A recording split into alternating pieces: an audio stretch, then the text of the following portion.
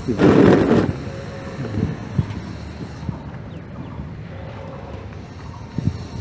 मत्स्य विभाग चंबा की ओर से आज चमेरा एक के जलाशय में कोमन कॉर्प प्रजाति की मछली के सत्ताईस हज़ार बीज डाले हैं। इस मौके पर मत्स्य विभाग के पर्यवेक्षक विवेक शर्मा विशेष तौर पर मौजूद रहे। उन्होंने बताया कि कोमन कॉर्प प्रजाति मछली की ग्रोथ बहुत ही जल्द होती है। एक वर्ष के भीतर ही यह मछली तैयार हो जाती है। उन्होंने बताया कि मत्स्य विभाग की ओर से लोगों को मछली उत्पादन कार्य से जुड़कर आर्थिक तौर से स्वावलंबी बनाने की दिशा में काम किया जा रहा है। नमस्कार। मैं आज मत्स्य विभाग की तरफ़ से एज ए ऑब्जर्वर यहाँ पे आया हूँ। तो यहाँ पे आज कॉमन कार्प मछली की जो प्रजाति है, इसकी यहाँ से सुल्तानपुर फार्म जो हमारा है, यहाँ से स्टॉकिंग करवाई जा रही है। ये चमेरा डैम में कियानी नामक जगह है, वहाँ पर ये स्टॉकिंग करवाई जा रही है। तो ये सीड सेवेंटी और एम mm से ऊपर का इसका साइज़ रहता है और ये कॉमन कार प्रजाति का बच्चा है। इसमें काफ़ी अच्छी ग्रोथ मिलती है। इससे आने वाले समय में हमारे जो फिशरमैन हैं, जो वहाँ पे फ़िश कैच के काम में लगे हुए हैं, उनको आने वाले टाइम में इसका फ़ायदा मिलेगा। सर हाँ जी फार्म एक्चुअली ये हमारा काफ़ी अच्छा फार्म है और प्रोग्रेसिव फार्म है ये चंबा का। ये का केवल एकमात्र फार्म है, यहाँ का जो कार फार्म है, जहाँ पर कार मछली का उत्पादन किया जाता है। आ, बाकी यहाँ पे थोड़ा इशू है यहाँ पे थोड़ा जो ड्रेन वगैरह का पानी है मार्केट्स की जो ड्रेन है उसका पानी यहाँ पे आता है जिसकी वजह से हमारे जो मत्स्य धन है उसको भी प्रॉब्लम आ रही है और फार्म की जो रख रखाव में भी दिक्कतें आ रही हैं। इसको आने वाले समय में जो है एडमिनिस्ट्रेशन के साथ और लोकल जो डिपार्टमेंट्स हैं पी है टीसीपी है उनके साथ इसको जो है उठाया जाएगा और इसका कोई ना कोई हल निकाला जाएगा। ये आज लगभग सत्ताईस हज़ार से ज़्यादा मछली का बीज यहाँ पे डाला जा रहा है कॉमन कार्प प्रजाति का।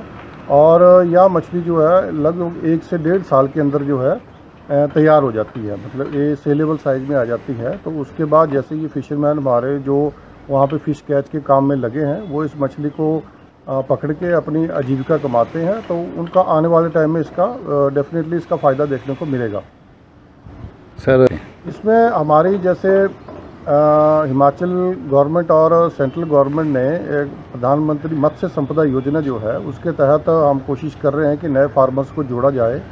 इसके अलावा जो हमारी नदी नाले हैं, जहाँ पे कि मछली किसी प्रकार से जलवायु परिवर्तन की वजह से या कई अन्य वजहों से जो है मछली के प्रोडक्शन में कमी आई है, वहाँ पे रिवर रेंचिंग का एक प्रोजेक्ट चलाया जा रहा है, जिसमें कि जो हमारे खड्डे और नदियाँ हैं वहाँ पे हम जो है लोकल वैरायटी की जो मछली है उसको वहाँ पे स्टॉक करवाते हैं ताकि वहाँ पे आने वाले टाइम में उसके जीन पुल को बढ़ोतरी मिले और वहाँ के जो लो, लोग हैं जो मत्स्य जो मछली पकड़ने के कार्य में लगे हुए हैं उनको भी रोज़गार की संभावना वहाँ पर बढ़े। इसके अलावा हमारे जो रेजरवायर हैं वहाँ पे विभाग द्वारा हर साल जो है सीड की स्टॉकिंग करवाई जाती है। अच्छी क्वालिटी का जो सीड है वो हम बाहर से टेंडर्स के थ्रू उसको परचेज़ करते हैं। और उसको हम विभिन्न जगहों पर, जहाँ पे भी मछली उसमें संभावनाएँ हैं, मत्स्य उत्पादन की, वहाँ पे उसको स्टॉक करवाया जाता है। जैसे चमेरा है रंजीत सागर है, वहाँ पे उसको स्टॉक करवाया जाता है और उससे, उसके रिज़ल्ट भी आ रहे हैं। हमारे रिसेंट ईयर्स में चमेरा और रंजीत सागर में काफ़ी कैच में काफ़ी ज़्यादा वृद्धि हुई है। इनफैक्ट मैनी फोल्ड यहाँ पर इंक्रीज देखने को मिली है। इसका डायरेक्ट बेनिफिट जो है, हमारे जो मछुआरे हैं, उनको मिल रहा है इसका।